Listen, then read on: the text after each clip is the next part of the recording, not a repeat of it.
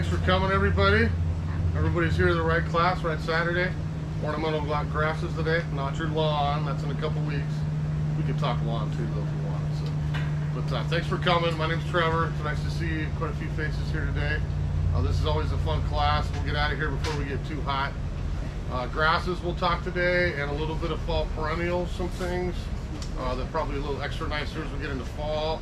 You probably noticed out there if you were out before uh, we started, perennials, grasses, all the above around special 20% off. Um, we'll do that here for you guys too, so just certainly take a look and do some shopping afterwards. Did everybody get the handout? It's on the back chair. Everybody's got one. Some light bedtime reading. You know, only four pages this week, so it's not too bad. But the last page will give a few of the, my favorite fall perennials too. Um, and then certainly there's a lot of other stuff we'll talk about when we get to perennial time. But we'll whip through and hopefully show you pictures. I brought a few plants up. You can kind of see some of the different variations in color and growth habit, a lot of stuff. We say starting to plume, like bloom, get it? So these are all starting to plume here for fall. So we're getting kind of towards prime time here as we get uh, tough ornamental grasses. So grasses are perennials. There's only going to be one that I'm going to mention in the slideshow a little bit later that's not that's an annual and will not come back but all the stuff we're talking about here is going to be perennial. So things that we're going to plant in our yard expect to have for a number of years. We've got the right location um, we'll have a happy grass for a long time. Very very stuff easy to grow. Um, they're extremely low maintenance. You know I kind of have jokingly had a rule in my yard if I had to touch them more than twice a year you're out of here. I'm going to get something else.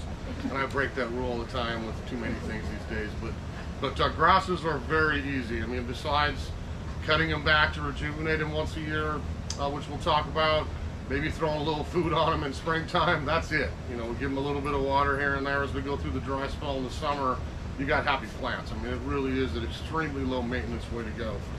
Uh, the big one on a lot of these, and I'll mention as we look at specific types, is going to be drainage. We can't have heavy clay, especially in the winter time. Water pools up, heavy clay, if we have a, a, wet situation, there's quite a few of these that probably will rot out over the winter. Uh, so we want to make sure we got good drainage. If you're on the sandy side of town, you got nothing to worry about, but it's the, the clay usually if we get a little bit wet, we have to be careful on which ones we choose.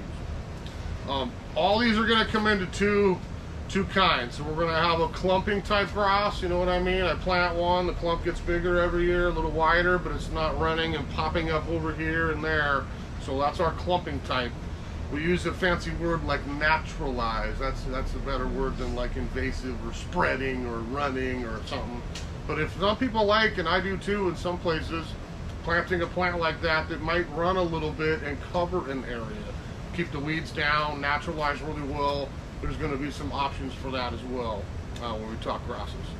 Uh, the big thing with me is, and I've got a lot of these in my yard, well some of the pictures are from my place, um, you know, I think grasses provide something maybe that a lot of plants don't in the yard, and that's maybe a little bit of motion and some sound. You know, if you're out there and you've got a grass in the wind here in summer, fall, rustling in the wind, very peaceful, it's a great sound. So you can add some interest in your landscape with the color, with the structure, but also, again, I think that motion and, and the sound as well. So I would always kind of start, like with most of the classes I do here, by asking yourself a couple questions. You know, how much sun, or shade is this plant going to get in my yard? And that's always kind of, well, I'm talking about summer. I don't care about January when everything's dormant. So if we're out here now, how much sun is this actually getting? Am I getting full sun? Am I getting very little? Or do I kind of have that typical, you know, Marysville Pacific Northwest, part sun, part shade? You know, a little sun, a little shade, a little sun, a little shade kind of thing. So that's kind of phase one. You know, I like both types of grasses, evergreens and perennials. But that may be a question for you as a gardener. You know, do you want, some people like, I don't want anything that turns brown. I don't want anything that loses leaves. That's not very fun, to be honest. But but uh, perennial grasses, we would have the seasonality, something we would start over again every year and have a brand new plant.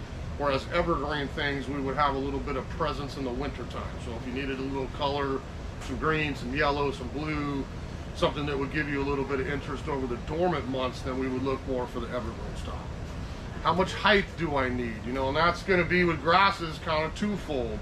You know, I have grass height, and then I have a plume on top of that. So how much space do I have? I got a couple of Meyer that get eight, nine foot when they're in bloom. That might be a little big for others. Other people want a nice specimen where it's going to have a little bit of room to grow. So we can go all the way from tiny little ground cover type grasses up to something eight, nine foot, you know, and literally everywhere in between. Um, you know, a lot of times with me is it one specimen. You know, I'm not going to plant a row of my nine foot grasses. I want one beautiful specimen and I can garden around it or layer plants off of it. So is it one single specimen I want or do I want a grouping, a swath, maybe sometimes the smaller grasses three of them or five in a little group is going to make much better presentation than just having one, you know, where it kind of gets buried by, by other plants.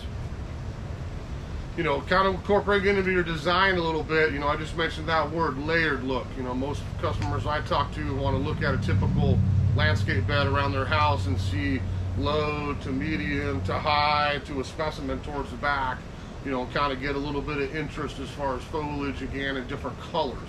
So if you look at that layered look, grasses are ones that we have a lot of options for things we can put on the border down at that low area, or we could get something taller if we're looking for a, a big specimen, kind of a little showstopper as well. But you'll see, not just from this, but the pictures here, you know, a huge amount of color, variegation, different blade size, different texture, when do they turn color, different flowers or plumes. So you can kind of find something I think that for your taste, it's your garden, not mine. I may like something a little more yellow. You may not like yellow. So pick out something that, again, is going to be good for you. But just keep in mind, again, those evergreen things have presence year round. And a lot of times for me, containers. You know, that's where I a lot of times start with my evergreen grasses, adding to a fall container that I can enjoy all winter.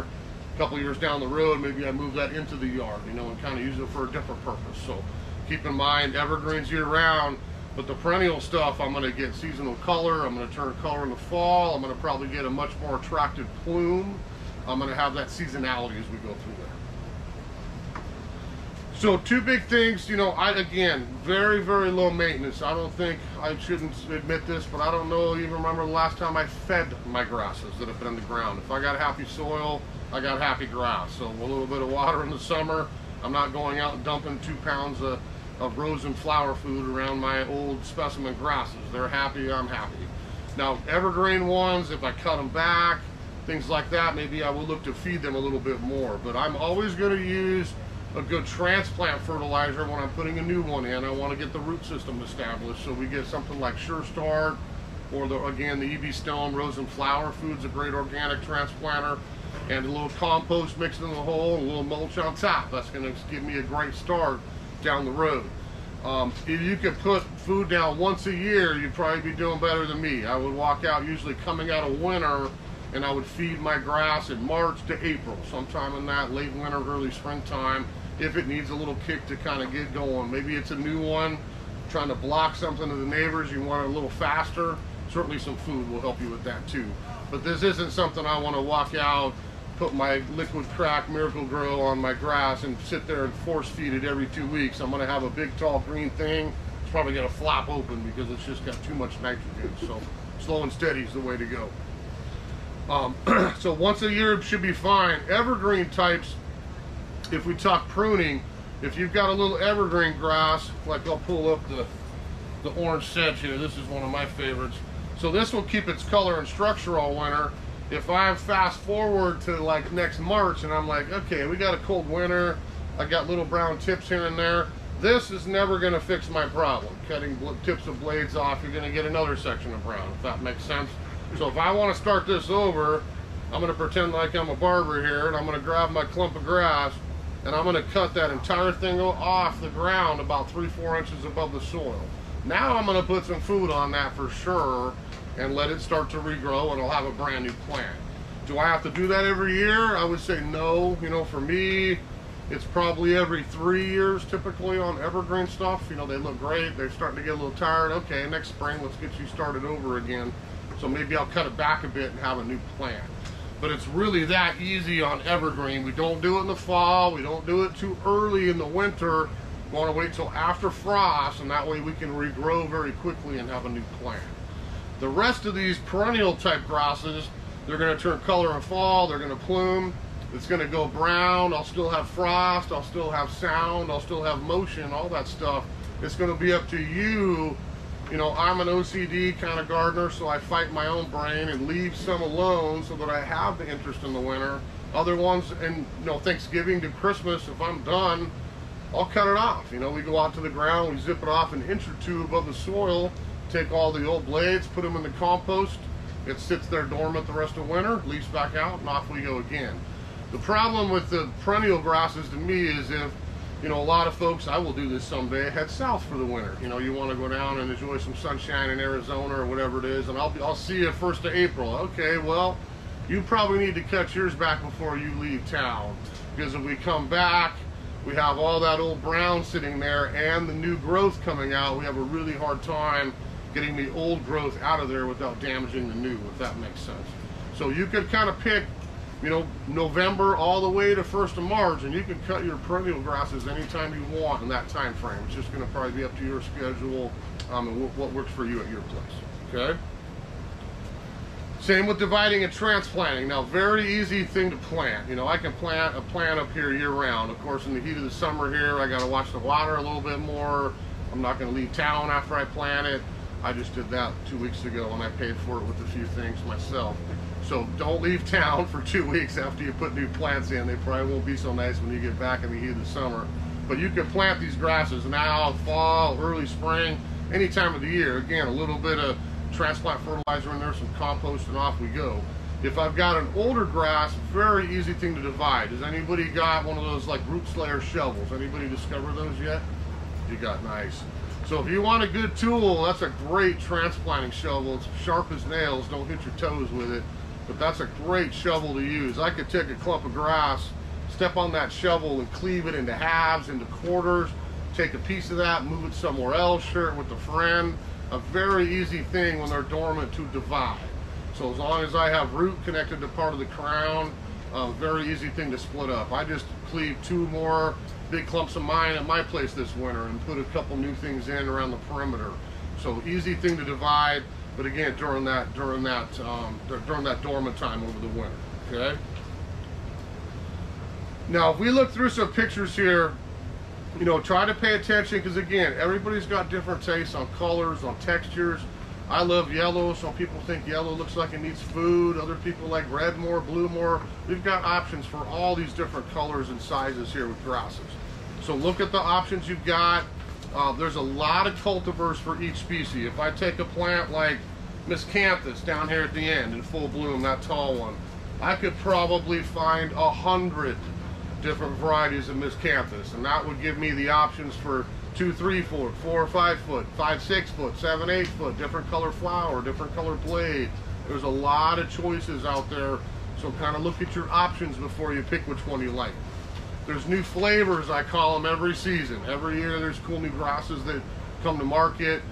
Uh, new dwarf ones especially these days where people have liked to plant like miscanthus, but I don't have room for seven feet. Can you get me something three feet? Okay, we can do that um, as new cultivars come out and do it that way. Um, right now, you know, it's probably your best time. You come down to the to a place like Sunnyside, late March, early April, and you see rhodies and azaleas and fun stuff blooming, and you're like, why are you having those dead pots of dirt out there that don't even look like anything yet? So we don't see grasses in the winter or March. We come look in the summer, fall, because right now is when you're going to see the color, the glory, the different flowers coming out that might catch your eye. So it's a great time to kind of look around to add some of these things in the yard. Um, and again, the last one there, um, you know, you consider some for, for containers. You know, I don't know how your spouses are. My wife's like, no more plants, please. But I always tend to sneak some more home. So um, that's how I usually win is I have many, many containers around the yard. And she doesn't seem to notice if I just bring it home and add it to the pot versus the ground. Then in a few years, we go from the container to the ground, we go buy another plant for our pot. That way you can feed your future plant addiction like I do. So there you go. But you'll see a lot of plants, you know, when we talk container design, uh, we'll have a great container, fall container class coming up here in a couple weeks, um, here early September for redoing your pots for fall. If you look at grasses, it could be all three. We always talk about thriller, you know, filler and spiller, you know, for three elements of a good good container that's attractive. And a lot of these grasses, I could get a bigger one and use it as a thriller. I could get some bushy ones, use it as a filler. I could use a lot of evergreen ones even as little spillers towards the edge of the pot. It's going to be interesting all winter as well. So if we whip through the list here, um, you'll see on yours we kept it alphabetical by Latin. Not that you have to learn any Latin today, but that kind of gets it organized, at least gives you some different options as we go through. But if we talk a few, um, the first one I would mention is Acorus, or what we call sweet flag. This is a plant native to Japan. This is one that does like some wet, and this is evergreen. So this is a short little plant. I thought I brought one up here. He's probably hiding where I can't see him. Here he is over here. So you'll see that one on the table. But this is one that's going to have mainly yellow. We can find white variegated ones or even old sweet flags just green. But that would grow almost like an iris a little bit from a bulb. We could have that wet. Even sometimes people use it as a pond plant. But we could get something just a foot tall or the miniature one there you'll see is only about four inches tall. So this could be almost like a ground cover. Maybe it's an area, it's a little heavier soil that you rot, other things tend to rot out. This will maybe give you an easy plant to grow in those type of areas. So certainly sweet flag uh, would be one to consider. Anemanthele, the pheasant grass. Has anyone tried that one? I've got a couple of those going at my place too. So that's the polar opposite of that first one. This would be like hot, hot, hot, and dry, dry, dry. If I have clay, if I have wet in the winter, poor drainage, this will rot out the first year. You will not have it come back because it's happened for me. But this is one, if we have hot, dry, slopey areas that we want an easy grass that's super drought tolerant, uh, this would be an excellent choice. This is going to be kind of the coppery, lime green colors. It is evergreen up here. You'll get a little bit of color change through the winter, but it will keep that color going through the winter, kind of a coppery one.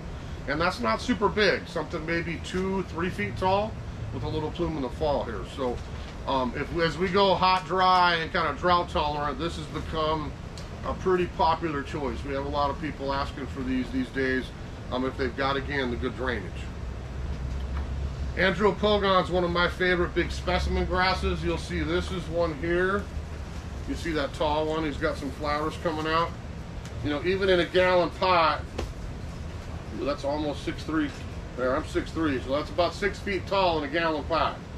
So I'm looking for something big, specimen, and bold. This is one uh, blue stem, or the big blue stem we would call this. We would always get towards the purples and the burgundy colors. You can see the colors on that already here heading into fall. So that will give me the darker tones. A really attractive little seed head on it. But a lot of these, I'm to have five, six foot of grass and then a flower plume on top of that. So that's a big specimen grass. If you got a hot, dry area, that one again loves good drainage, loves the heat. Really easy one to build a really nice big one. That's one, maybe one might do it, not five. That's a pretty, pretty big plant. So Andropogon, you'll see different varieties. Holy smoke, Red October. We got a few different ones out there. Actually, let's see which one this is. This one's called Indian Warrior. There's another one there. so there's quite a few of those, but they're all going to have that similar color change, bigger size, and then again the purples and the burgundies um, a little bit earlier than you will see on some of the other ones. The next one's Bouteloua, we call grama grass. I brought one up here because it's really cool. Can everybody see that? I call this flat, they call this flag grass sometimes. See how the little seed head sits sideways? Looks like it's a little hanging flag. Looks like we're heading out to sea here. But that's a fun little plant. I thought about doing that over in Cle Elum in our pasture at one point because I can mow it, you can walk on it. Um, that is again super cold hardy, super drought tolerant. If I can use that in my meadow, I could use it in a lot of different areas. It's a really cool flower on that one much earlier, like midsummer. So that's been blooming for about a month, six weeks already. We'll go into the fall. We call that blonde ambition because it ends up getting kind of a straw golden yellow color uh, through the blades here as we get a little, little bit colder in fall. But I'm going to have that really cool little flag grass on there. So that's, what's that? Now be short again. This is oh, one, we can mow it if we want or weed whack it is what I would have done. But this is one you might get just about a foot or so of foliage, and then your little your little flags on top of that. So you can see from the picture, that I put on there. That one's a little, probably a month from now where I'm seeing that blonde straw color kind of coming through in full bloom. And I'm looking like early summer, you know, on the other one. And you can see a lot of them there in the field, but that's one again, maybe one might not do it. That's one I'd probably think about a little group of three or repeat the pattern through a sunny garden so you get a little better presentation. So Calamagrostis or feather reed grass, anybody in Everett with me? Anybody in Everett residents? So you know the new YMCA? Yes. So you know the, the Karl Foersters, I think they have probably 300 of them up there. It's a very simple grass, but it's really pretty. Would you say driving by, it's like, well, that does look kind of cool. You know, it looks a little more native. It's a really stiff structure, straight up, straight down. You got the seed heads a little bit earlier. I have the variegated form in my own yard because I like a little foliage color. But feather feather reed grass, whether it's Karl Foerster, or something green, or avalanche or overdam or the new one here is lightning strike i'm going to have a, a, manageable sized plant you know maybe just something two three foot tall with my little seeds on top of that but it's got a very nice little stiff um, kind of clumping structure so that's another one you know one certainly is okay but you've seen if you drive by there at the Y, you know, literally hundreds of them in rows along the gardens look really, really sharp and very, again, low maintenance. If we look at probably the biggest group, or one of them we'll talk about today, it's going to be Carex. So this is going to be, the majority of these are going to be evergreen. There's only one I'll mention that would go dormant in the winter, but this is going to be my evergreen clumping grasses for foliage. I brought quite a few up. You see the orange New Zealand sedge. We see one right here. Um, you'll see a bunch of choices out there where I can pick my color. Do I want white with green, gold with green? Do I want something a little different like the New Zealand sedge? But you've got some options for color. These are all going to be shorter evergreen ones. Again, if I'm going to start these over again, if they're looking tired, what do I do? I got to pick that up in April, zip it off three, four inches of the ground, and let it start over again. I'll say for me, driving around and always looking out my window at yards everywhere I go, most people don't cut back their Carex, and I think you'd be happier with the look and a lot tidier looking plant if you cut them back every few years and let them start over again, because they do get a little tired here in the wet winter. So if we cut them back, we start fresh foliage, we got a brand new plant. So a couple to choose. The New Zealand sedge I mentioned, that's just about a foot tall, lime green to coppery color. That'll always be that color through the winter. So that's an easy one. Frosty Curls is a real fine bladed Carex that if I like more silver, kind of a silver, green, white look to it. That's a great one for pots again or the yard. The new series of stuff that kind of has replaced, you know, a lot of the old Carex that I think these are probably a little better looking plants long term is this whole Ever series. So we have ones like Ever Lime, Everest. You'll see Ever Sheen, Everillo. I can kind of pick I want lime green, I like dark green with yellow, I want some white and green. You can pick your blade color, but you're gonna have, again, a nice, tidy, mounding grass that we can use in pots or the yard and have that look through during the winter.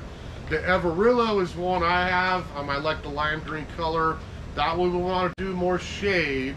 So if we had like morning sun, afternoon shade, or for me, they're kind of buried in my garden, you probably wouldn't even see them during the summer but when all the dahlias and the perennials and everything have been cut back, what's left, conifers, shrubs, the bones of the yard, now it's like, oh wow, he's got a bunch of those everillos kind of tucked in the garden back there and they were getting shade all summer. Now they're getting a little sun in the winter, which is fine. So, so we can do ones, again, Everillo, Pure Lime, ever Eversheen, Everest gives me a little bit more of that white, and then Ever Lime's an interesting one, kind of two-tone green on the blade there. Uh, my wife calls these cowboy sedge. They look like leather. Who, who, who, thinks brown looks dead? I don't. Brown. We call that chocolate. That sounds better than brown. But a lot of these these cappuccino, the leather leaf sedges, that is the color. It's not for everybody. I tend to use them a little bit in my container designs. I have not done that in my yard, but I use them in my containers a little bit. But it is meant to be that color. That's not dead. So I want to make sure that's clear. A lot of people look out there like, why are they selling that dead brown sedge to somebody? But that's the color they're supposed to be. So we, we call it chocolate. It's kind of a chocolate brown red color. But uh, we can do different leather leaf sedge. There's cappuccinos, kind of a trendy variety because of the name. Uh, but that would be that color and stay that color all year. And I, I would be, again, technically an evergreen type Carex. I think this is the one I, they brought in for me. Is this Feather Falls? Yes, it is. So that's the Feather Falls right there. And probably that one more than the other evergreen Carex is going to hang a little bit more. So that's again one we probably sell a lot of for containers. People want that beautiful blade, the color in the winter. They tucked at the edge and let that grass spill a little bit around the container design. Um, the one on the other side there is in my yard, so that's one called Bowles Golden. I think we still have a couple out there, but that would be a bigger growing Carex that would be perennial. So that is not that color in the winter. I want to make sure that's clear. I wanted a Carex maybe three foot tall, bright yellow foliage all the way through. That one again can take some shade. I have mine in total shade in my garden at, in Everett. Um, but that's got to bloom in the spring. A really cool little seedy flower comes out in the spring. Then the gold foliage comes out that you get to enjoy all season. So we've had quite a few people like that one. If you want to see one after class, we got a beautiful specimen of it over in the the Smith Garden next door. You can see it over there in the landscape as well. How does the feather fall through with jam? Do Like with? Moisture's okay. Again, I wouldn't do like heavy clay, but I'm okay with wet. It doesn't have to be bone dry. You want to water the Carex a little bit, but it just does, doesn't be sopping wet. Yeah. Uh, on the Feather Falls, Yeah. if you're going to put it in a container, how high does it get? Is it like something to go to the side of the You- container? Oh, it would Could be right on the edge. Well, again, if I had a wouldn't it- small pond, I could use it in the middle. But if I had a, a decent sized specimen container, I'd be putting that in the corner and letting that spill over the edge a little bit. Okay. Yeah, we're talking just that tall Okay. and more of that kind of weeping habit. Okay, Now here's some other ones. This is Chasmanthium. This is they call northern sea oats. I had one here blooming. This is the last one I have. I'll get some more next week. But you can actually see the little oat seeds on that. That's real pretty. So this is one I have a few different places in my own yard. I love the color. It's nice lime green. It is one you really see the seed head on as it starts to get into fall here. And that's again another one. A, we can take some wet with that one. That's a plant we would find usually upper Midwest, even growing in bogs and marshes, you know, Michigan, Minnesota, different areas like that. So sea oats would be one for wet. A little manageable size, maybe just a couple feet tall with the seeds on top. And I can do some shade on that as well. We can do sun or shade. That one's all about water, I hate to say. I don't water my yard a lot. But where I have mine is underneath a huge, ginormous Japanese maple I put in years ago, and it kind of is a little clump with the different perennials on the side. It doesn't get sun till five, and then gets cooked late afternoon. And I do water it a bit. I don't water that garden much, but that's one plant. A little bit extra water in the summer will get me the seeds and not let it go dormant early. The years I don't water it, it probably turns yellow brown a little bit earlier, and I don't get to enjoy the fall color or as much as the seeds. So a little bit of wet soil, not too dry, and maybe a little bit of water, not an not an extraordinary amount, but a little bit of water, because that one we would not do drought tolerant. Okay, on the COs. Ah, pampas grass. Anybody got pampas grass before I talk about pampas grass? Nobody has it, so I can say how I really feel about it. uh, we'll just leave it at that. How's pampas grass? Um, a, I'll, I'll give you a couple things. These are really sharp. Um, they're big plants. You got to get a chainsaw to prune them. I've seen the neighbor do his over there. Um, it's the, probably the prettiest of all the plumes. Let's be honest. You want an old-fashioned feather duster? There's your pampas grass flower. I mean, that thing is beautiful in the fall. The rest of the year, personally for me, I'd say goodbye to it. But, but uh, either way, not one of my favorites. Um, if we were doing this class in the Carolinas or somewhere down the southeast, I'd probably feel differently about it. But Do you, how do you cut those back? Because I've seen, Oh, I would get a chainsaw, something super Yeah, sharp. I, I think mean- you, you get your hand pruners out, you might be signing up for like a 20 hours of work to get that cut back at. They're just really sharp, um, pretty thick, and pretty tough. I mean, it's a tough grass. Up here, you know, in other areas of the country, these are evergreen. Up here, usually evergreen. If we get cold in the winter, these will go brown, and then you're going to have to cut it back like the perennial one so it can start over again come spring. Um, and maybe this one I might feed a little bit more if you want a whole bunch of those plumes on there. A little bit of fertilizer may help you do one second. The pink one, I'll tell you, I searched long and hard. I don't know if anything is quite that pink on a pampas grass because I've seen pink ones bloom. They're a real light, light, light pink. Anything you see online's been photoshopped. I see them like flamingo color, nuclear sunset colors. Like, yeah, that just isn't going to happen. So, go ahead. I was gonna ask if there's a pink grass that isn't sharp and prickly that you plant if you like pink. Yeah, we can. Um, we'll, I guess we'll get to a couple here in a second. Some of the pennisetums will be easy. Um, so I, again, I don't want to offend anybody. Um, pampas grass isn't one of my favorite plants, but um, certainly it probably has a place up here too, right? We'll, leave it at that. Deschampsia, um, we get we get tend to get one called Northern Lights. Uh, There's one right here in the front. It's a little clumping grass. Um, so they call that tufted hair grass. Really pretty little small one, little clumping habit. That's one again, maybe one plant in a pot's okay. But if we had multiples of those, I think they'd make a really pretty presentation in most yards. Um, it's not super bold, variegated look, so it's not screaming yellow or white, but you do get a little pink typically in that one uh, with the green and the white colors. Um, kind of a nice little foliage one. And again, big thing, short and tidy. Um, and that would again be a pretty good drought tolerance on the on the Deschampsias as well. Uh, probably the top of the drought tolerance are fescue and the oat grass coming up here pretty quick. But uh, this is old Idaho fescue. If we were hanging in eastern Washington over there toward, towards Idaho, this would be grown native in the desert. You know, we don't need a lot of water on fescue. Um, if you've got hot, dry, sunny, well-drained locations, uh, this is a really easy grass to walk away from if you like that steely blue color. I think, do we bring one of those up? Yeah, right in the front there.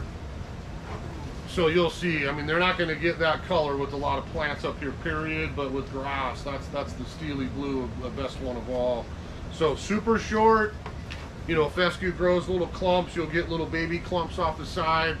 Um, that one, sometimes in the wet winters, it looks a little tired coming out of winter, so I know for mine, I might cut that one back a little bit more in April than I do some of my other evergreen ones, just so I have that fresh silver blue uh, foliage every season. But if I didn't want to water and I got a hot, dry spot, I mean, that's towards the top of the totem pole for something you can walk away from down the road. Yes. Is that low enough to be a ground cover? You could use it as a ground cover, especially a lot of the newer cultivars. You know, I, you know, typically fescue, I might get that much grass on it, you know, maybe six, eight inches. But I think there's ones now you can even keep maybe a little bit shorter than that. Yeah. And certainly the, we used to say weed whacker, now we say string trimmer, right? You could probably give your fescue a little mow job with a string trimmer, keep it shorter. When's the best time to move those? Um, any again, going back to divide and transplant. Anytime dormant season, I'm going to be pretty luck. You know, if I walked out today and dug up one I've had in the ground for a year or two, you probably won't lose it. To be honest with you, but if you want to be safe, I'd say dormant season, easy, easy transplant time. Anytime. Yeah. If you transplant it this season or Mm-hmm. coming up, could we trim it back then that same at the same time, or Nope. would you want to wait? Wait, wait to always wait to cut back on evergreen till April. That's a really good advice I will give you today because if you cut it back going in the winter, it may not come back, and you want to look decent in the winter. So always wait till April, whether I moved it, divided it, whatever it is. The perennial stuff, absolutely. If I'm going to move, I do that all the time in the fall, Thanksgiving, Christmas. Oh, I want to move this, I want to divide that. Whack it off down to the soil, chop it, divide it, move it, and then I'll, we're good to go for spring. But it'll go dormant in like October. Usually, it depends on what the weather does. Always in the fall, but it's typically mine are always looking really good about you know Halloween to Thanksgiving. To me, is prime time for the color and all the flowers. Um, so usually starting then through Christmas, January, you got any time to cut them back. Um, Hakonechloa is a big one. This is probably the number one selling grass around here. I think most of us in our yards have shade. Um, we like grasses, we like color up here in the Northwest, so that's a really popular choice. Um, this is a plant that would start as a clump and would run. So I have patches of forest grass all over my different gardens. Um, some look a little clumpier because where they're located, but if I put one forest grass in, okay, that's going to spread, root, and pop up another one and another one and another one. It's almost going to form a ground cover. So if you've got shade, heart shade, especially those two locations, that's a great grass if you're trying to cover some area. Um, I love the color. They'll turn red, pinks and reds in the fall. It'll go dormant about Thanksgiving time.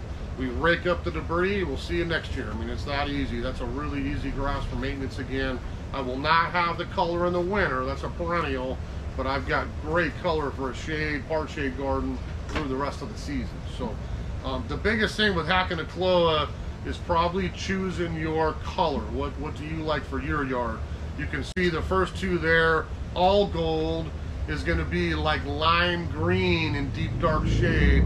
If it's getting a little bit of sun, we would be bright golden yellow lime, kind of a little brighter color. The Benikaze would be green. That's for the ones that are like, I don't want a yellow in my yard. I don't like yellow.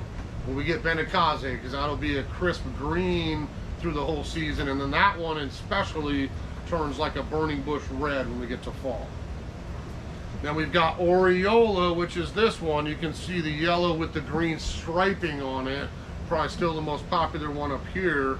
And then the last one there you can see with the fall color. So that's what I'm going to be looking at mid-October, mid-November.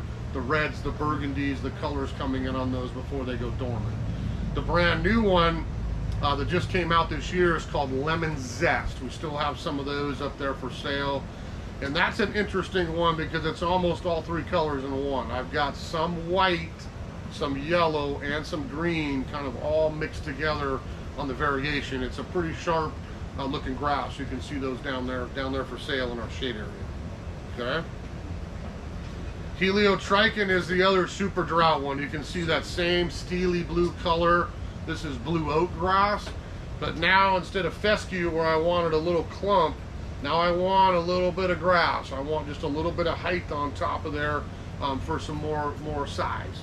So this is one we would get probably two or three feet tall with that same kind of brownish oat seed on it here in the fall time. Uh, super drought tolerant. This is one again, we want to make sure drainage is good. If it's too wet and it rots in the wintertime, you're going to get rust on these or they're going to struggle. But if I've got high and dry and full sun, this is one that you could walk away from down the road and really water nothing around here as we get into the summertime. So once those get established, that's again towards the, the top of the totem pole for, for drought tolerance. Are you cutting that one back like in January? Yeah, Every- that one again year? is probably not every year because that one again is technically evergreen. Okay. Um, what I find with most people is they probably get a little bit wet around here. They get a little brown in the winter, zip yours off in April again, let it start over again. If it's truly full sun, hot, dry, well drained soil, I don't know that you'll have to do that every year. It'll still look really good year to year. And what if it has a little shade? Uh, a little bit of shade's okay. Um, again, keep the water off of it then, probably with a little more shade. You'd be even a little less water doing, doing part shade. Uh, the one thing here I put in um, that we can do red on is bloodgrass. I think we brought, oh, I did bring one in. It's poking me in the face here. So that's our Japanese bloodgrass. And this isn't just the fall, this is the red tip color that I would have all through the growing season. That's different for grass. You're not going to see that with a lot of plants. That one is not super tall, but who's got bloodgrass? How many bloodgrasses do you have now? I, I keep it under control. You keep it under control. I, Yeah. So bloodgrass, we would use the word naturalize is a nice way to put it, but that one I think in some places they might even say the word invasive. Um, if we have an area, especially if it stays a little wet, I put a plant in, I'm going to have a patch of it or a swath or a swale, which looks very cool in the garden, but at some point, like she mentioned, you need to tell it to stop. So we would just watch the perimeter coming out of winter, maybe chop a couple of roots and make sure it stays kind of where you want it. Um, it's a really pretty plant, but if we have open soil, great soil, we water regularly, we feed regularly, uh, that's a plant that might start popping up kind of all through a garden, which might look nice too, kind of depending on, on how you like your landscape. Yeah. In the shade, is it good? That one probably a little better in more sun. I don't mind parts on part shade, uh, but we would want a little bit more sun than shade. And that one again would not be this in the winter. That would turn brown color in the fall. We would zip it off, and that would be a perennial type to come back the next season again. Uh, or lily turf, you know, this is one uh, this grass-like plant, although we'd really call this a grass, but we always bring this in and talk about it with the grasses. I've got one there you can see in the corner, if I can reach that one. So I would have that grassy foliage. That's a variegated selection called Silvery Sunproof. But I actually have a flower on that, and these always bloom kind of late summer, fall. Lily turf, or the liriopes, um, are great little clumping perennials. That's an evergreen, so we would keep our little clump for the winter. We would see the bloom again the next summer. We can find whites, we can find pinks, we can find blues, purples, different colored flowers, and we can do a lot of green if we don't want the variegation. We can do yellow or we can do white. Um, you'll see coming up here uh, for different options on color. This is one again um, in the container is real nice. I've used these a little bit in pots off and on over the years.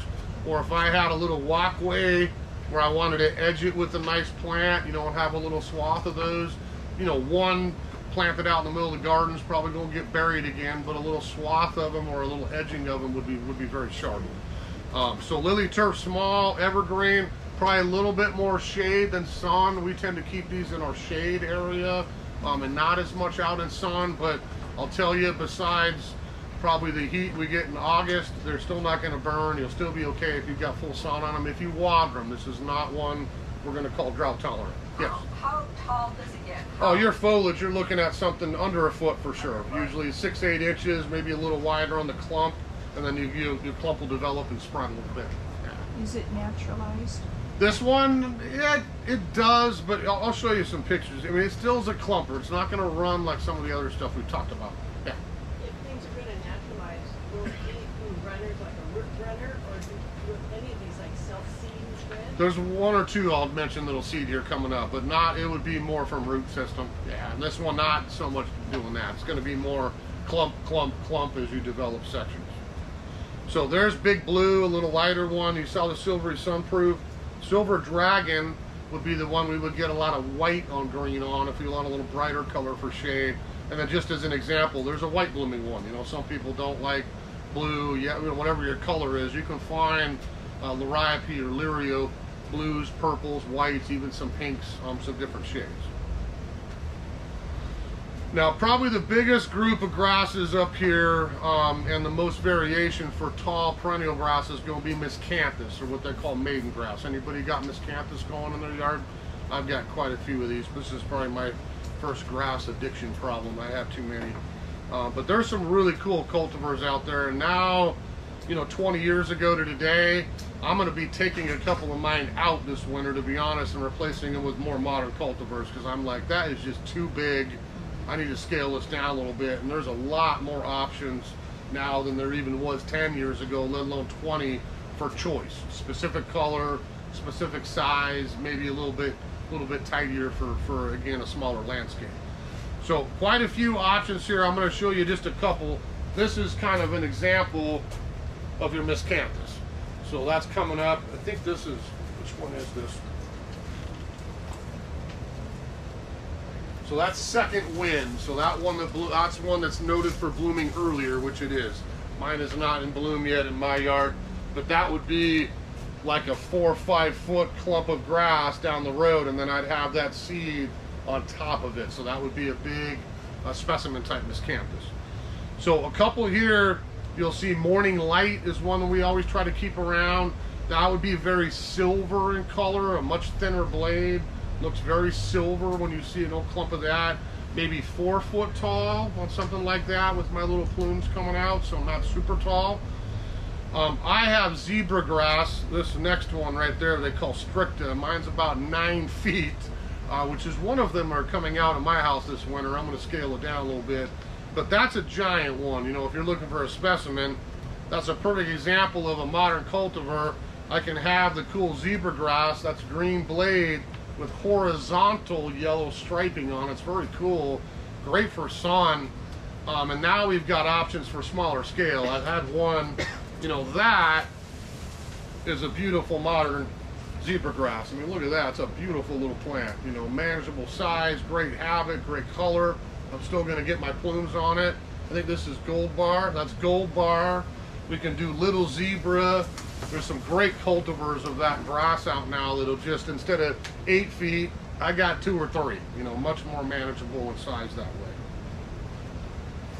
Stricta, like I mentioned, that's the full size one. That'll get huge. Uh, Fire Dragon is kind of like our second wind. You can see that's a picture probably from mid-October, late October. So that one's noted for a specifically heavy fall color. So I want to go more red burgundy and really have a nice show in the fall with the plumes. That would be a taller miscanthus with red color. We can look at that landscape there I took a picture of. That's Hakonechloa, the really low one there right around the driveway planting. And then if we look just to the left and above it, that's our Gracilis, you know, they call dwarf maiden grass. So again, manageable in size at maybe three or four feet tall, but a nice big wide kind of weeping specimen with those pretty plumes in the fall. And that's gonna be more green. If I don't like the white, the yellow, the variegation, that one would give me a little bit more clean green. On the right there, Little Miss, you know, that's another example of a great modern cultivar. There's a lot of these new dwarf ones out where I want that plume, that thick grass, the great color in the fall from Miscanthus, but I don't have room for six feet, seven feet, eight feet. I need something tidy. So something like Little Miss is just gonna be two or three feet. You know, I want that small dwarf Miscanthus. There's Little Miss and a number of other new ones out there as well now. And then the last couple of miscanthus. So cabaret is one I have quite a bit of in my yard. I think I have three big clumps of that, and I keep dividing it, giving some to my neighbors too. We'll have a whole neighborhood full of cabaret here. But that's a bigger, like four or five foot, but I'm gonna have white on green. That's a really pretty color. Um, we can still do full sun on that. Doesn't have to be in shade, but I'll have a nice specimen grass with a bigger blade with a really clean white stripe on it. I would be a little bit more size. the other one, the first grass I ever put in was that in my yard 20 years ago. Purpurascens, a miscanthus. That's an old school species. I think we might still have a couple. That's getting harder to come by these days. Uh, but I got it in specifically for the fall color. That's one that probably turns a month earlier than any of the other ones. It's a four or five foot tall one. I don't have to water it. That's maybe a little more drought tolerant than some of the other miscanthus. But the combination of fall color, manageable size and plume, uh, and towards the red purple side again got me towards that purpurascens. That was one I seeked out uh, when I did my, my original yard. Another new dwarf one, Ruby Cute. You know, there's another dwarf one. You like that dark purple burgundy color, manageable size again, two, three feet tall. That would be another good dwarf choice, uh, kind of the new ones. And then there's another kind of classic, that last picture, you know, that's a beautiful miscanthus. And we could look at probably any of these down the road, and that is what I'm looking for. That fountain, moundy specimen grass that's full of foliage in the fall and great little plumes on it. Yakujima would be again like a four foot, probably six foot wide clumping grass. So that would be an example of the old dwarf, quote unquote, maiden grass specimen sitting in the landscape. So a few more here. Molinia is called moor grass. I think we still have some of these out there. Um, that one again, I put a picture of a pot and I also put a landscape picture on there because I think that's a great choice for either. We could add a little interest in our container uh, with the Molinia um, or we can use swaths of it or a block of it in our landscape for some cool color. That does get a nice seed head on it. It's got some pretty variegation um, and that one can take a little bit of wet as well. I have I taught a class, this class for the NPA, uh, the Northwest Perennial Alliance here a few weeks ago. They came down and we had a long discussion about Moline and a couple of them uh, really liked it in even heavy clay, you know, where they had a little bit of wet in the wintertime. It was an attractive little easy grass that didn't mind maybe getting a little, little wetter versus some of the other ones we've talked about. now someone mentioned, someone a bit ago mentioned uh, seeding. So I'll just smile as I bring up this old stipa, I still call it, but now they've renamed it Nassella. Anybody got the Mexican uh, feather grass in their yard? How many do you have? They're in pots. oh, there you go, smart one in pots. Um, this is one I kind of chuckle because it always makes me think of my mom when she retired down the beach. Uh, she likes this grass, and she had a nice little beachy, rocky area garden overlooking the water. I think she put three of these or five, whatever of these in, and she probably has a thousand of them.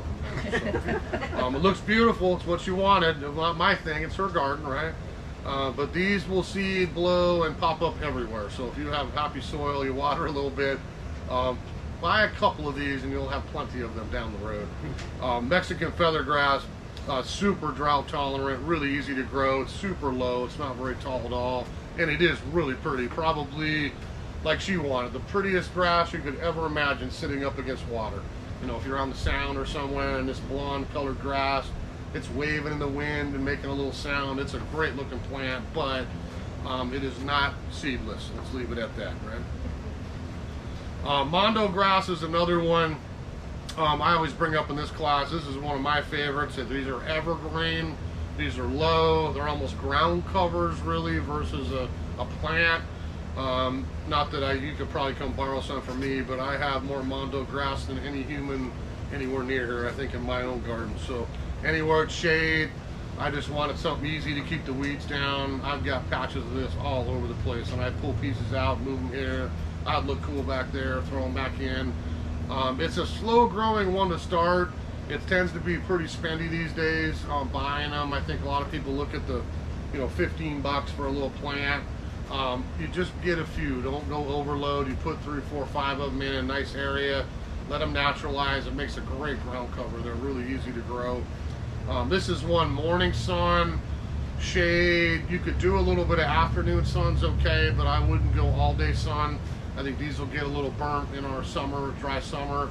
Um, we do need to water these a little bit, not a crazy amount, but they're certainly not, not drought tolerant.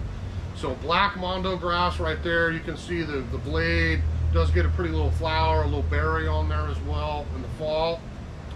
Green mondo grass, if you don't like the dark, um, the green would be the same way, little dark green clumps. That makes a great little, again, walkway edging, a little shady kind of ground cover. Uh, that might be a choice. And then now we even have variegated ones like that Edge of Night. I think we still got some of these around. If not, more will come in for the fall.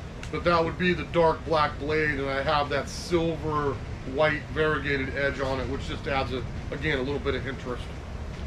So Mondo grass, um, this is something for year round. This is a plant we probably sell more of fall, winter, January, February than we do even in the growing season because another really popular choice uh, for containers because it's evergreen, especially shady containers. That'll trail in the pots a little bit and certainly the number one plant for putting in your orange uh, pumpkin for Halloween, right? Uh, switch grasses, I got one up here starting to seed here and you can see the color starting to come in now in August. Um, this is a plant I started using uh, many years ago on my sunny bank. I wanted something I didn't have to water, um, that would naturalize, give me a little bit of height, give me some great color, and just kind of look a little more native maybe. These are switch grasses or more prairie grasses, but maybe a little bit more manageable than some of the miscanthus. A lot of the switch grasses I can get two foot, three foot, maybe four feet on some of the taller ones, but I'm always gonna lean towards that burgundy, purple, fire engine red, depending on what color I like, the variety I choose. I'm gonna get some of those colors every year in the fall. So this one seeds maybe a little bit earlier than Miscanthus would, so they're just starting to plume right now, and you can just start to see the red coming through. As we look at a couple of the varieties here, and there's a lot of flavors of switchgrass these days, um, the biggest difference is going to be the color and how fast it comes in. So most of the newer ones are going to turn red, purple earlier, late August, September, versus having to wait until mid-fall before we just turn out color, bloom, and we're done. So we get a little longer interest out of some of these. So a couple like Hot Rod, I think this is Ruby Ribbons here. Let me see which one she brought me here. That's Shenandoah, so that's one of the great plant picks. So that's close to Ruby Ribbons. So this is one called Shenandoah but I would you can see the dark on Hot Rod, a little bit more subtle uh, reds on Ruby Ribbons or one like Shenandoah. If we like that bluey color, that's a beautiful one called Heavy Metal. That's going to have that blue-green color to it.